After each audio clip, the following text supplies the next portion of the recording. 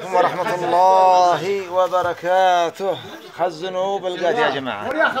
ما شاء الله. ما شاء الله. 10 مليون ريال يمني هذا القات الان الان 20000 وهذا المجلس. 50000 دولار.